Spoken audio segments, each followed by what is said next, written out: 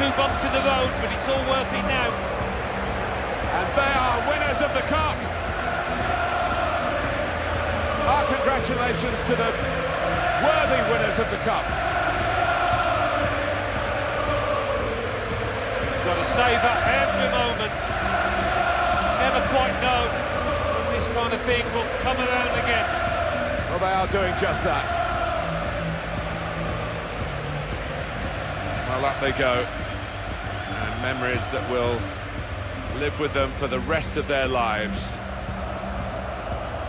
To win this tournament and all that it means to those players. No wonder the bounce is back in them. Well, you've got all your family up in the stands. They'll be watching down proudly, and certainly there'll be a huge feeling of pride within that team. Why not? Thoroughly deserved winners.